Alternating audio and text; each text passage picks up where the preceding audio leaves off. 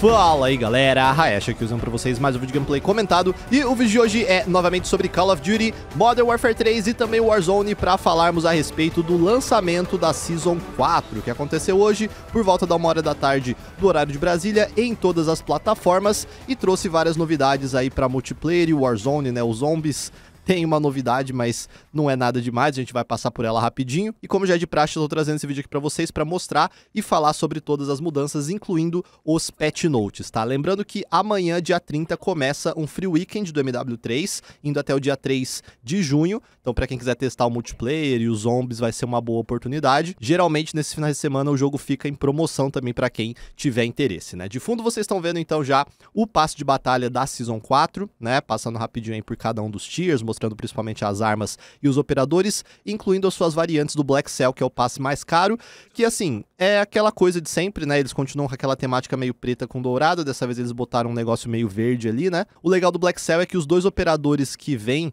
com o Black Cell, que usam meio que um capuz preto e tal, eles têm uma execução que quando você faz no multiplayer, no Warzone que seja, você rouba a skin do seu oponente, né? O que eu achei uma ideia bem interessante. Então é uma maneira de você usar várias skins dentro de uma mesma partida, por exemplo, incluindo até skins que você não tenha. Mas é claro, você só rouba para aquela partida, né? Que você passa até a skin desbloqueada na sua conta. E aí, com a chegada da Season 4, né, chegam sempre novos arquivos dentro do jogo, e aí uma coisa que eu já quero destacar para vocês aqui nesse início é que descobriram alguns dos bônus de pré-order do Black Ops 6, né, que tá muito próximo de ser revelado, o jogo inclusive já tá até disponível na Steam para você adicionar na wishlist e tal. E a gente vai ter a skin do Frank Woods, né, um dos principais personagens aí da saga Black Ops. Vocês estão vendo aí de fundo, vão ser três skins diferentes, inclusive. E todo mundo que fizer a pré-compra do Black Ops 6 vai receber essa skin para utilizar no Modern Warfare 3 e no Warzone, né? E também foi descoberto através dos arquivos que a edição mais cara de todas, né, a Vault Edition, além de te dar acesso né, ao Frank Woods,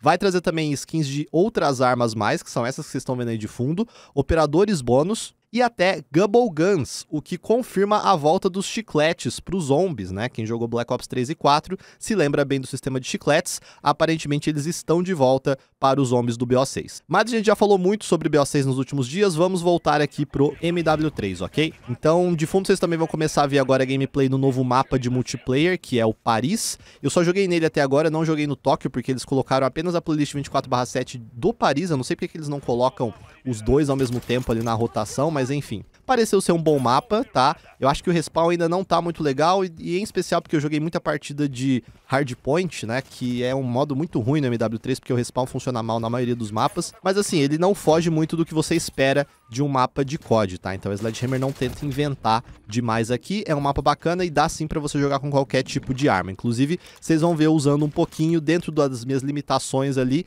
uh, a nova Sniper, que é a CAR 98, e também a nova SMG, que é a Superi 46, né? Essa SMG, você vê que ela atira mais devagar, mas ela tem um tiro mais potente, digamos assim, então ela me pareceu ser muito boa, tanto no multiplayer quanto no Warzone, daqui a pouco eu vou mostrar gameplay dela no Warzone para vocês.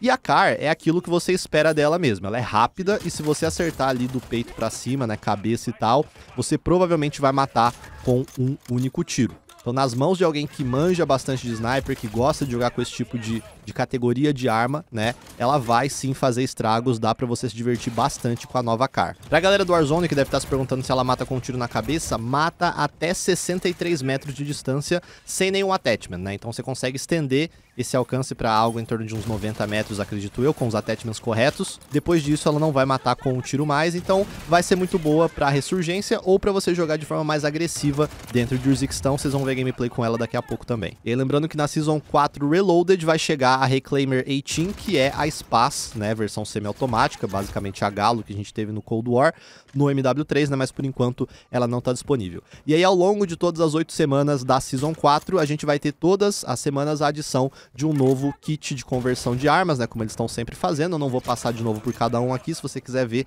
tem no meu vídeo anterior sobre a Season 4. Com a chegada dessa Season também, eles liberaram uma nova camuflagem de Prestige, que é nada mais nada menos do que a Obsidiana, que a gente teve lá no Modern Warfare 2019. Ela tá retornando agora e animada, tá?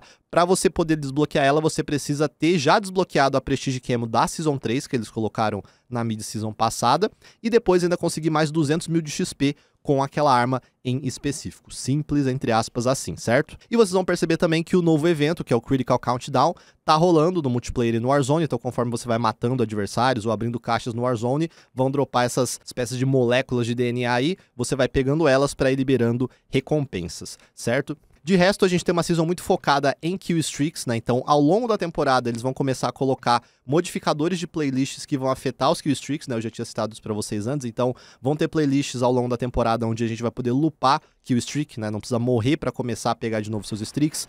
Vão ter playlists onde as kills de kill streak vão contar para o próximo e vão ter também playlists onde quando você mata um adversário, ele vai dropar uma bolsa que vai te dar parte do que ele tinha de kill streak acumulado, né? Fazendo o seu subir bastante. Inclusive, é bem provável que eles façam alguma playlist em algum momento que combine todas essas três coisas, o que vai ser uma grande loucura, né? E aí, o novo colete que chega para multiplayer também, o controle de missão, é focado em kill streaks, score streaks, né? Então, ele tem por padrão o efeito do tenaz, ou do hardline em inglês, que faz com que você precise de uma kill a menos ou de 125 pontos a menos para todos os seus kill streaks, né? E que cada duas assists também contem como uma kill. Além disso, o perk placa de compressão foi adicionado ali na categoria de equipamentos e ele é basicamente a versão de perk do regeneração rápida, né? Fez uma kill, regenera sua vida. E aí a gente tem a chegada de quatro novos streaks, sendo um deles a DNA Bomb, que eles explicaram que substitui a Nuke, tá? Então a Nuke não existe mais no jogo, só existe a DNA Bomb. Em vez de ser com 30 kills, ela é com 25. Só que a diferença é que ela não acaba com a partida, né? Então fez 25 kills sem morrer, né? na arma, nas granadas e tal, sem contar kill streak pega DNA Bomb, pode soltar, mata todo mundo, mas a partida continua. Os outros três novos streaks são o IMS, que você pega com 7 kills ou 875 de score, tá voltando lá do MW3. O Loitering Munition, que você pega com 8 kills ou 1000 de score, e ele é um drone equipado com foguetes que você vai escolher três áreas para ele meio que bombardear. E aí ele vai automaticamente ir no local onde tem mais players daquela área, digamos assim, né? Você pode ativar ele até três vezes. E por fim, o Drone Missile, que você pega com 11 kills ou 1375 de score, e ele é controlado pelo jogador e funciona basicamente como o Reaper lá do Modern Warfare 3 original ou o Lodestar do Black Ops 2, vocês devem se lembrar. Então você controla esse avião, né?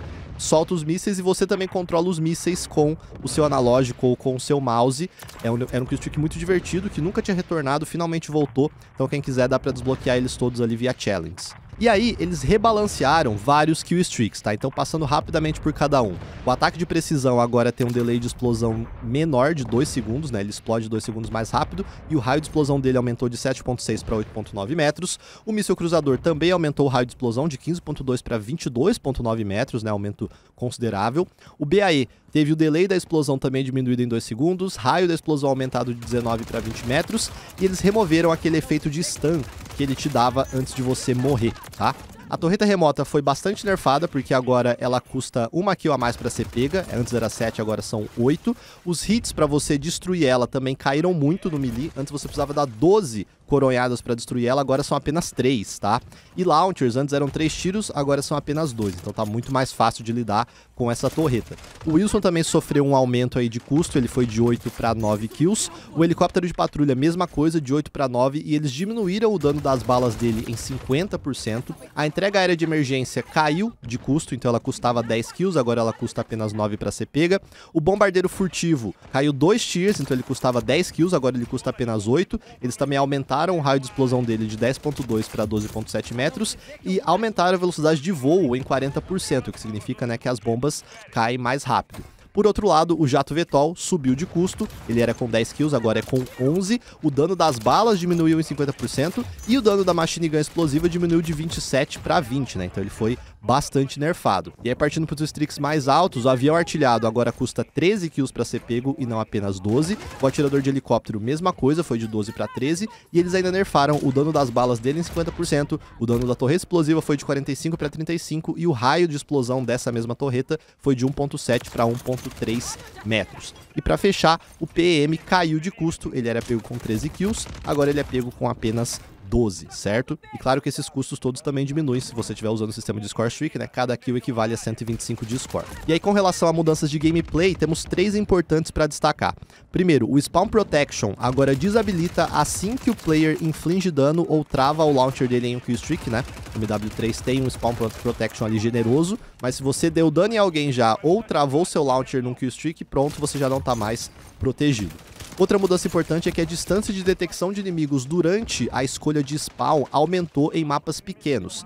Em outras palavras, isso significa que agora em mapas pequenos é para você nascer mais distante de inimigos do que vinha acontecendo, né? Então, as chances de um spawn ruim diminuíram, o que também deve fazer com que os spawns demorem mais para inverter, sejam mais difíceis de mudar de localização, né? Mas vamos ver na prática o quanto que isso faz de diferença. E a mudança mais importante é que eles diminuíram o volume geral dos passos inimigos no multiplayer, tá? Eles falaram que na season passada eles bufaram várias botas para ver se diminuía o uso da galera da bota que silencia os passos, não diminuiu, então agora eles estão nerfando a bota mesmo, né? O que só mostra que nem sempre bufar coisas que estão fracas resolve o fato de algo que tá forte deixar de ser forte. Com relação aos zombies, como eu citei pra vocês, não tem basicamente nada, e é, e é nada mesmo. Tipo, a única novidade dessa season pros zombies só chega na Reloaded, que vão ser os portais instáveis, né, as fendas instáveis, que vão servir em resumo para você resetar o cooldown dos seus itens do menu. O que teve agora nessa atualização foram apenas correções de bugs, né, melhorias de estabilidade, essas coisas. E eles confirmaram também que a gente só vai ter uma nova missão de história, digamos assim, na Season 5 Reloaded, tá? Então ainda vai demorar bastante, os zombies continuam cada vez mais abandonados, os caras já estão completamente focados nos zombies do Black Ops 6, né? Não tem jeito.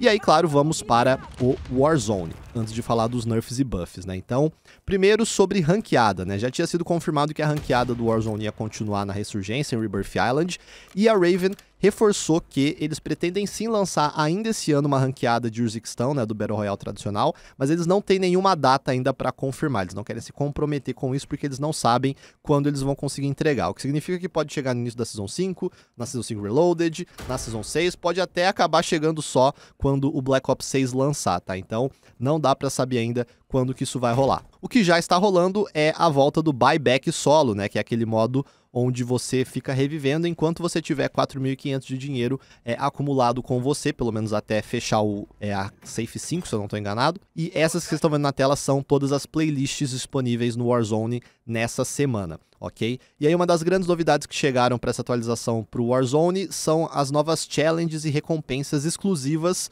do Warzone. Você vai ver isso já no seu menu principal. São quatro categorias diferentes, como vocês estão vendo aí na tela. Não são difíceis de você completar a maioria e todas elas no final vão te dar uma recompensa de camuflagem, que vocês também estão acompanhando aí de fundo. Não são animadas e são todas basicamente a mesma coisa com apenas um recolor, né, uma diferença de cor. No entanto, existe sim uma camuflagem animada para quem conseguir fazer a quest da Nuke, ou seja, a Champions Quest, que também tem ali algumas challenges atreladas a si. E aí uma novidade que eles colocaram agora é que você consegue roubar a quest da Nuke caso o squad que tem essa quest ativa no seu servidor morra por completo, né? E aí vale para todos os modos, Ressurgência e Battle Royale. Então, o time morreu, o último jogador que morreu vai dropar o tablet da quest da Nuke e a primeira equipe que pegar consegue tentar completar a quest naquela partida, ou seja, você não mais precisa necessariamente fazer as 5 vitórias ou as 30 vitórias na temporada para desbloquear essa quest. Você pode dar a sorte de roubar de alguém durante a partida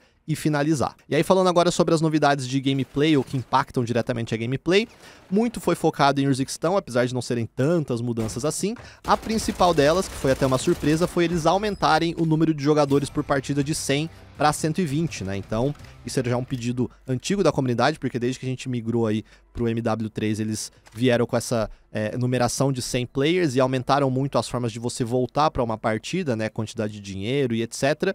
Só que isso ainda assim não estava agradando muito a comunidade, as partidas estavam meio lentas, então eles resolveram colocar novamente 120 jogadores. Só que aí, para contrabalancear um pouco isso, eles fizeram mudanças justamente nessas questões que fazem você conseguir voltar mais ou não para a partida, ou de achar dinheiro e etc. Né? Então, por exemplo, alguns itens mudaram de raridade, eles não especificaram quais. A quantidade de dinheiro nas caixas e no chão diminuiu em 50%, então agora é bem mais difícil de você juntar dinheiro para reviver um amigo e tal do que era antes. A quantidade de loot no chão também diminuiu em 15%. No entanto, eles aumentaram a quantidade de caixas disponíveis em 20% e nessas caixas os itens lendários têm 5% mais chances de aparecer do que antes, certo? Aí com relação aos Gulag Tokens, é, eles continuam podendo aparecer no loot, mas agora a chance é baixíssima porém eles passam a ser vendidos na loja também, tá? Cada loja vai ter dois tokens de Gulag disponíveis para você comprar por 4 mil cada. Então se você já for pro Gulag, ganhar e tal, voltar,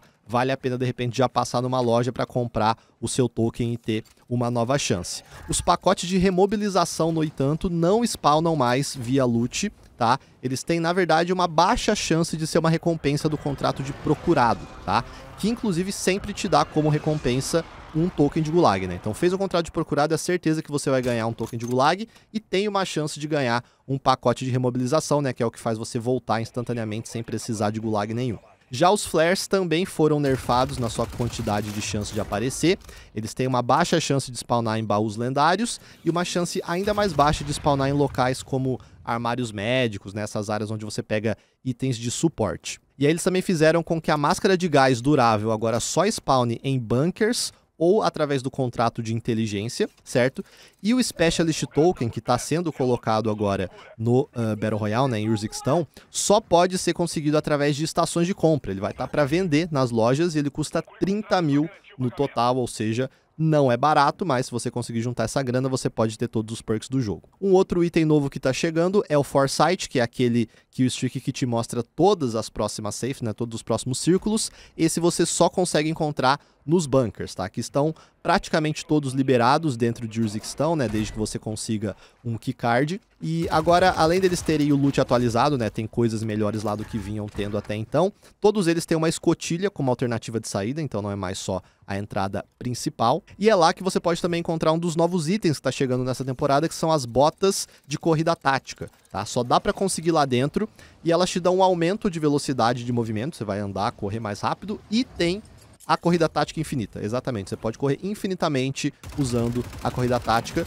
Se você morrer com essas botas, elas não dropam, tá? Então não dá pro seu adversário roubar ou você voltar lá e recuperar elas. Morreu, morreu. E só dá pra spawnar uma dessas por bunker. E eu nem sei se é certeiro que todos os bunkers vão ter uma, né? Mas é só lá que você pode encontrar. Então fica a dica aí, de repente vai valer bastante a pena agora ir atrás desses bunkers. Eles também colocaram em Urzikstan o novo Killstreak Bunker Buster, que já não é mais tão novo assim, né? Que você marca um local, cai uns mísseis naquele prédio e ele é tomado por gás, então é bom para lidar com campers. E também colocaram a caixa de utilidades, que é aquela caixa que dropa não só munição, mas também placas para você. E a gente tem duas novas features, uma é a Loot Hot Zones, que são basicamente áreas onde o drop, o loot vai ser melhor, mas elas não estão indicadas no minimapa, no mapa tático, então não tem como você saber onde elas são no início da partida, ou seja, não entendi exatamente qual que é a função da feature, eu achei que era justamente para forçar a galera a cair nessas áreas, mas é, até onde eu percebi não tem como saber onde elas estão. E eles adicionaram um novo evento público que tem 10% de chance de aparecer, que é o Runaway Train, né? Deve ser algo como o trem de fuga. E ele só ativa no final da partida porque ele faz com que o círculo final seja sempre em volta do trem. Ele vai ficar acompanhando o trem o tempo todo até a partida acabar, igual rolou no evento lá de, de final de ano, de Natal e tal, com a diferença que você não consegue controlar o trem, né, para que lado você vai, como era naquele evento, tá? Então, 10% de chance de acontecer significa que deve rolar em uma a cada 10 partidas suas. Por fim, tivemos novas variantes do Gulag adicionadas, tá? Então, o Gulag ainda é aquele mesmo Gulag que a gente está acostumado, mas tem novas variantes de formato, digamos assim. E eles também atualizaram as armas do Gulag e removeram a C4 por completo, tá? Não tem mais C4 nos loadouts do Gulag. E essas são todas as principais novidades. Com isso, a gente já pode passar para os nerfs e buffs, que dessa vez não foram muitos, tá? Inclusive, eu vou passar por eles mostrando aqui na tela para vocês os patch notes direto lá na página, porque como é pouca coisa e eles agora estão fazendo nesse formato que mostra a imagem da arma e tal, talvez até fique melhor para vocês. Eu usei o Google Tradutor para deixar em português para vocês, para ficar um pouco mais fácil de entender, mas vai ter um erro ou outro, mas eu vou explicando aqui. E aí, com relação aos buffs e nerfs de multiplayer, é, foram poucos também, tá? É, alguns são iguais aos do Warzone, eu vou citar quais são. Os únicos que são diferentes são que a MCW no multiplayer agora tem um multiplicador de cabeça maior, foi de 1.1x para 1.25x, e eles bufaram quase todas as SMGs do MW3 em alcance, tá? De dano máximo e médio. Então a RAM 9, a MR9, Rival 9, HRM9, Striker 9, WSP9 e a Striker todas elas tiveram um aumento em torno de 8% do seu alcance, com exceção da WSP9, que o aumento foi em torno de uns 30%, tá? Então você vai conseguir matar com elas de uma distância um pouco maior com mais facilidade, né? E como vocês viram, muitas SMGs terminadas com 9 nesse jogo, né? Então vamos lá, falando agora de Warzone, a BP50 teve alguns ajustes em relação à sua velocidade de movimento, e esses ajustes valem também para o multiplayer, tá? Então eles diminuíram a velocidade de movimento de 5 metros por segundo para 4.8, se você estiver correndo foi de 5.7 para 5.5 e no sprint tático de 7 para 6.8, ou seja, 0,2 metros por segundo mais lento em todas as instâncias. E o kit Vingador dela, né, o Jack Vingador, também teve modificações semelhantes, com os extras de também afetar a velocidade de movimento agachado e a velocidade de movimento mirado, certo? Em ADS. Depois nós temos a BAL 27, que sofreu buffs, né, o alcance de dano quase médio aqui, né, que significaria nesse caso de curta para média distância, aumentou de 39,3 metros para 39,5. O alcance do dano médio médio mesmo, né, aumentou de 50 para 60, quase 61 metros, enquanto os multiplicadores de antebraço e mão aumentou de 1x para 1.1x, tá? Então a BAL deu uma leve melhorada aí, mas acho que ainda não vai ser meta nem nada do gênero. Depois nós temos a Roger 556, que também sofreu um leve buff. O alcance de dano de curta a média distância subiu de 45 para 50 metros e o multiplicador de pernas aumentou de 0,85 para 0,95x. Depois a SVA 545 teve o seu dano de média distância é, diminuído de 24 para 22, ou seja, um nerf, e o multiplicador de tiro na cabeça também caiu de 1.4 para 1.3x. Já a MCW sofreu um novo buff leve, né, mais um buff para ela, ela vem sempre melhorando ao longo dos patches. O dano mínimo aumentou de 20 para 22. E isso faz sim ela precisar de um tiro a menos para matar de longas distâncias, certo? Depois a MTZ 556 também sofreu um leve buff, o alcance de dano máximo subiu de 35 para 40 metros, o de dano curta média distância subiu de 48 para 50 e o multiplicador de cabeça subiu de 1.2 para 1.25x. Aí a Kastov 762 do Modern Warfare 2 foi bufada e olho nessa arma porque ela vai receber um kit muito bom ao longo da season, tá? O alcance de dano médio dela subiu de 51 para 57 metros, o multiplicador de braços e mãos de 0,96 para 1.15x, um aumento considerável. O multiplicador de tronco inferior também subiu de 1 para 1.15x e o modificador de perna, né, multiplicador de perna de 0.9 para 1x. Isso significa que se você der tiros no tronco do adversário, estômago ali, ou braços e mãos, você dá 15% a mais de dano com essa arma, tá? E o alcance dela é muito bom, e eu falei para ficar de olho nela porque eu não sei em qual semana vai chegar um kit para ela que elimina por completo o recoil horizontal, que é o que mexe para os lados, tá? E é por completo mesmo. Mesmo que você coloque attachments que acabem com esse recoil, que tipo afetem muito esse recoil, ela vai continuar com ele zerado nesse aspecto se você tiver com o kit. Ou seja, vão ter muitas builds possivelmente roubadas para ela. Isso vai valer para o Warzone também, então olho nessa arma ao longo da season. Depois a gente tem a Quimera, também no Modern Warfare 2, certo? Com buffs. O dano de curta para média distância subiu de 24 para 26, um tiro a menos para matar. Multiplicador de braço subiu de 1x para 1.15x e multiplicador de estômago subiu de 1.1x para 1.15x também.